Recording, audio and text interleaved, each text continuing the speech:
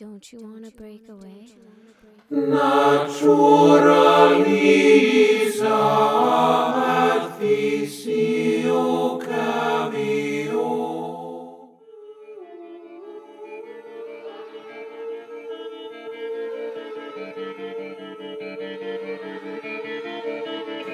A scorpion sits at the edge of a pond. He spots a frog. Can I get on? I cannot swim. I need a ride. Why would I sting you in the back when I would die? Now that logic makes sense with the frog in his mind. He wants to be nice, make an ally as a frog. His survival ain't doing too well. How much further he been with the scorpion's help? That's what he thought. Instinct suppressed, start swimming across. New friend on his back.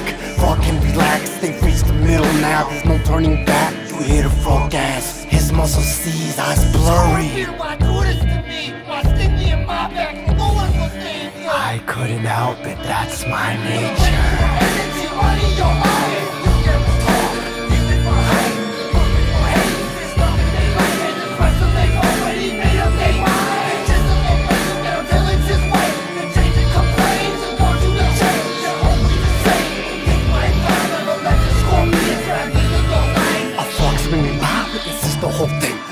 Gives a bite, the scorpion stings. The frog sits and thinks what the scorpion says. That's my nature to train, even if it costs a death. Scorpion's dead, he's dead all because he needed to train. To train was his drugs. If he could get off the drugs, he could stop. The frog feels he can help, no more lives should be lost. The frog sees the scorpion right next to the pond. The scorpion asks, Can I get on? I cannot. The frog stops him right there. You Do not want to die. You will not see. The frog takes time to speak to Scorpion for weeks.